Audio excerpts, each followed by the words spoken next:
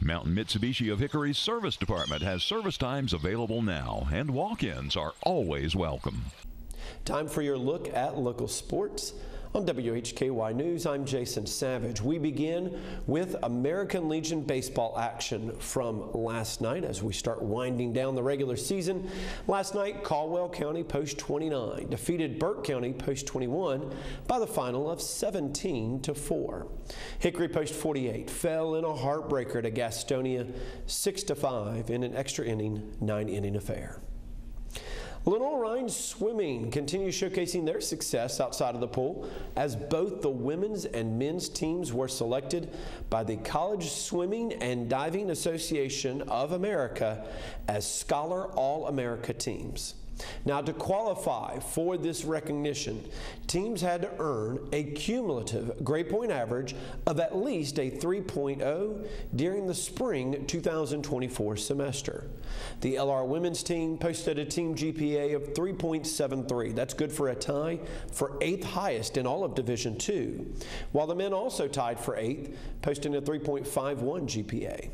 This marks the 14th straight spring the women have qualified for the Scholar All-American team, while it's the fifth consecutive time for the men. Very impressive. Appalachian State news now. Appalachian State women's golf head coach Brittany Debuel has left her position to pursue other opportunities, as was announced by Appalachian State. Debuel recently completed her first season at the helm of the Mountaineers women's golf program after being named head coach just over a year ago, June 13, 2023. She came to the Mountaineers from Longwood University.